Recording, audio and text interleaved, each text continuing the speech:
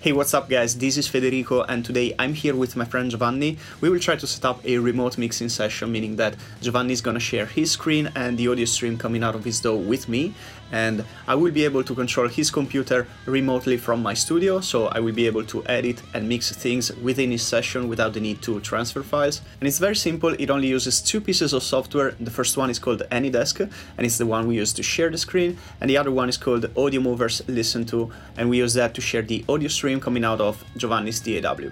AnyDesk is free for personal use, and if you're a professional, it's like 9 bucks a month for a single user, and then there's other options for multiple devices. And Audiomovers has a 7 day free trial period, and after that, it's like uh, uh, 10 bucks a month.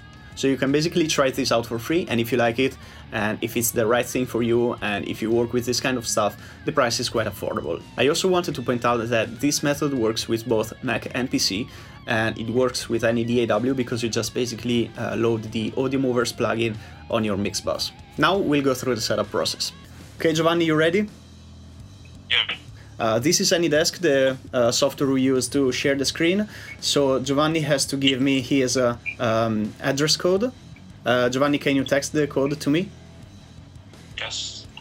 Okay, so let's connect.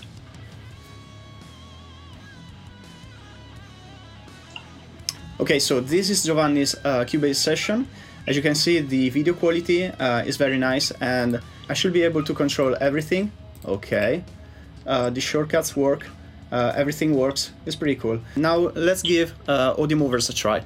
So now I have to load the Audiomover plugin in, in my insert slot of my master bus. Um, in that way, Federico can listen what my actual output is. And you will have to log in with your username and password. Right now I have mine uh, or already typed in. So I click login. I am logged in if the person who's using uh, the ListenTo plugin uh, doesn't really know what to do, uh, since I'm controlling his session, I can also uh, load his plugin for him. So that's uh, very easy to set up. Another cool thing with the um, ListenTo plugin is that you can set up the uh, streaming quality. So, for example, I can stream with full 24-bit wave quality, which is actually pretty cool. And of course, in order to do this, you have to have a very good connection uh, luckily, me and Giovanni both have a good connection, so uh, this will work just fine. So right now, uh, everything is uh, correctly set up. We can start the transmission. I'm gonna copy the link and paste it into my browser. And here's what I see. So I'll click on Start Listening. Everything seems to be fine. Let's see if this actually works.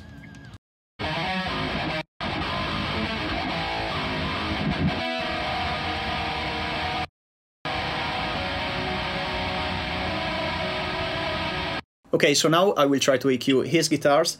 Let's remind that any processing we want to do has to be done before the ListenTo plugin. So let's load uh, Pro-Q 2.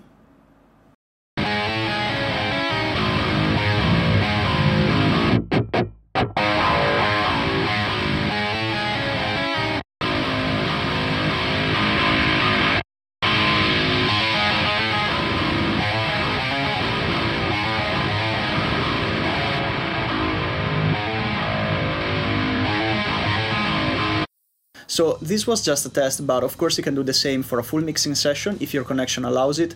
And there's a tiny bit of latency, so you have to be patient, but you know, this can work. Giovanni, what do you think about it? Uh, I just think that this way you can actually uh, steal some good presets from people. So, no, I'm joking. No. You loaded an empty session here, so I can't really steal your stuff.